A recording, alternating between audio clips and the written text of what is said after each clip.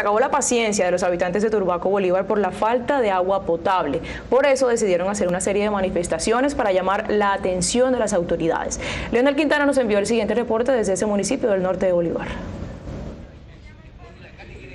Cuatro días completan los turbaqueros protestando para exigir a la alcaldía que suministre agua permanente en este municipio. Aseguran que demoran hasta un mes esperando a que el agua llegue.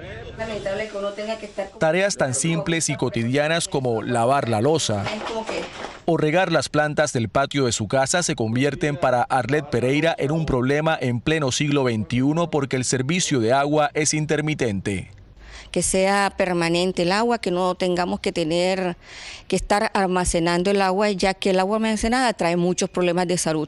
A solo unos minutos de Cartagena, Turbaco sufre por la carencia de líquido. Sus habitantes queman llantas y bloquean vías, rechazando el pésimo servicio.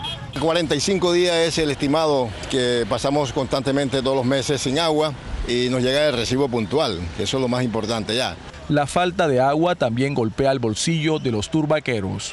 Tiene que comprar agua, 3 mil, 4 mil, 5 mil pesos.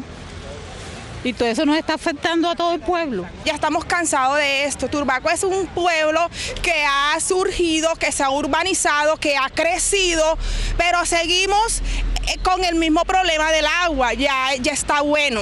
La empresa encargada del agua dice que los constantes racionamientos de energía afectan el suministro. Actualmente la infraestructura que tiene la empresa no da abasto para satisfacer la necesidad de ambos municipios. Es por eso que se está construyendo hoy en día una nueva planta de tratamiento de 400 litros por segundo en el municipio de Arjona para satisfacer las necesidades de ambos municipios. Y la alcaldía promete que habrá un plan de contingencia para abastecer a todo el pueblo en tiempos de sequía. Para que este a los sectores que por dificultades no le pueda llegar el servicio podamos suministrarle con carro tanque. Casi cinco décadas llevan los turbaqueros esperando a que el agua fluya en un 100%. Desde Turbaco, Bolívar, Leonel Quintana Mutón, Noticias Caracol.